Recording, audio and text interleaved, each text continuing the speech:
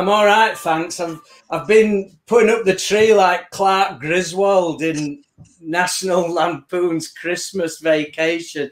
It's chaos, but we're all right. And um, I, I, know I've only got five minutes, and I just want to say that um, I loved what Tom just did then. I've, I've I've watched a few. I've been dipping in and out, and it's just a privilege to be invited. So thank you. Thank you. I'm, I'm raring to go, to be honest. So okay. We'll, we'll, we'll zip it and you crack on. I'll hit the timer. You hit the timer, mate. Right. Um, thanks very much for um, just sticking around. I loved what Tom just said then because um, I'm kind of building on that, um, or I'm, I'm, I'm, I'm, sharing a bit more around that as well. I'm, I'm thinking of when I worked in the PRU.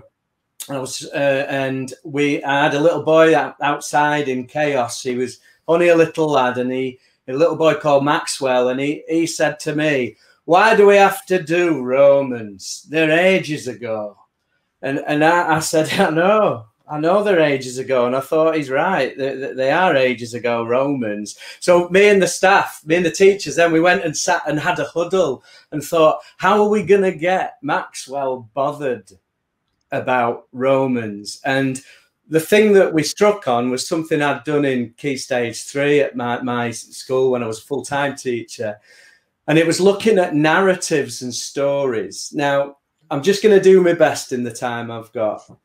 With curriculum, I think there's there's like three train lines. If you can imagine three train tracks, one train track, and perhaps the one that we've got to really pay attention to is the should curriculum right?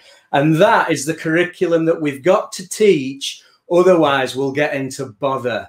Someone will want to tell us off or put us on a report or something. That's teaching what we have to teach in order to sleep well at night and ensure the kids know stuff. There's then this middle track, and this track is the could curriculum. And this is, in a sense, this is the pedagogy. This is what, to use Ofsted speak, this is the implementation. It's how we're doing the should curriculum over there. Yeah, over there.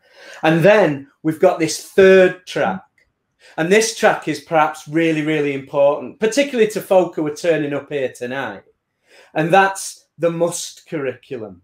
It's the curriculum that that that covers what we used to call the personal learning and thinking skills, the social learning, the stuff that makes people, I think we call it character education now. It's about building good people. So we've got these three tram lines. Now, the thing with tram lines is they crisscross and they move into one another and they touch, don't they? If you look at a bird's eye view of train tracks near a busy station, they're all crisscrossing. And that's what happens and should happen with curriculum. It shouldn't just be one of them.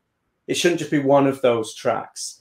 So in lockdown, I spent um, some time working with some schools online because we couldn't meet each other. Some were all they were all at home, half of them, and we looked at our could curriculum.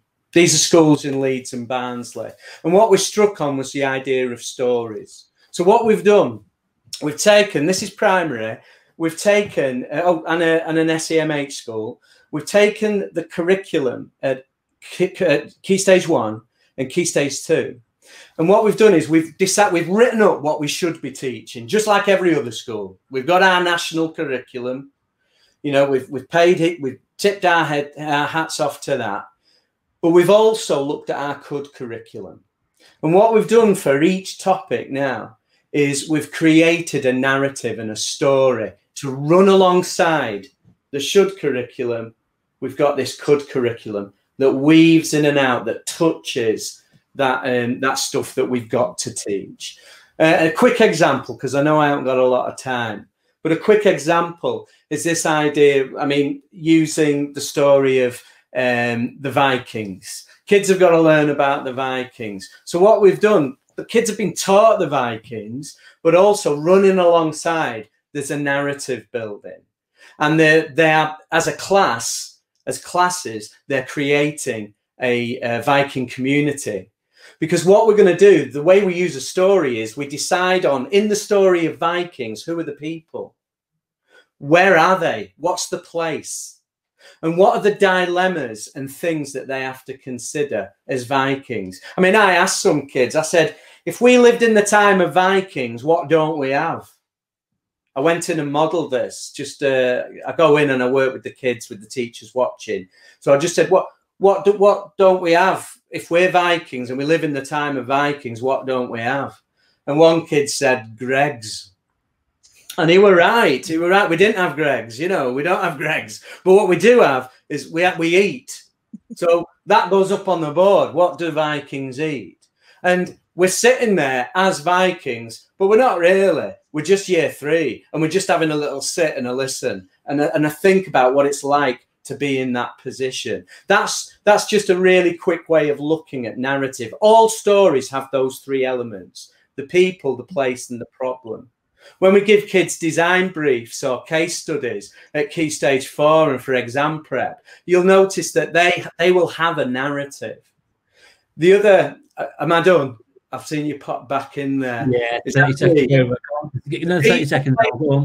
Okay, the people, place, and problem is just one way of building that botheredness, which Tom was talking about before. How do we get kids so that they're in a position where actually they can use their newly found knowledge from the should curriculum because they've been given a dilemma within the could curriculum, within the story curriculum. I hope that was I hope that were all right. Yeah, it was good. Thank you. All right. Thank you very much indeed. All so, right. Thank you. Yeah, that was really good. Spot on. Just just it, you know teach meets mate you know and and we've been involved in plenty and it's all about the takeaways isn't it yeah and, and not from greggs but um so no sharing that and thinking about that in, in, in those simple ways. Yeah. I know I, I, could see Ollie Lewis in the in the um, sort of green room. He's nodding, he's nodding. You know, he's he's on leadership. I know that will feed into his thoughts. Um, you know, in, in the science curriculum, I know it could be a real help. So thank you so much. Hywel. I hope so. I hope so, mate. And just to say, I'm dead easy to find. And if anyone would like to see examples of the planning that, that me and these brilliant teachers have been doing in lockdown, and now we're we're, we're making it real in class just get in touch with me, and um, we're, we're just keen to to see what other people think.